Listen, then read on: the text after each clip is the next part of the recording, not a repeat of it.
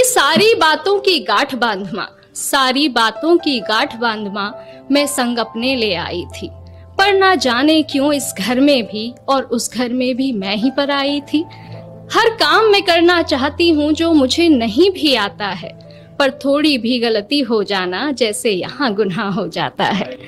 क्या यही सिखाया माँ ने तुम्हारी? क्या यही सिखाया माँ ने तुम्हारी? हर रोज मुझसे सब कहते हैं।